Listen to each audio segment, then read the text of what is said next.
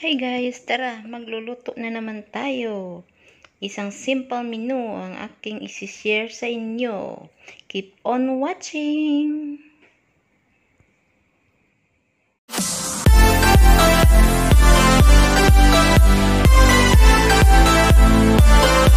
Guys, welcome back to my channel. For this video, magluluto na naman tayo ng egg egg tofu.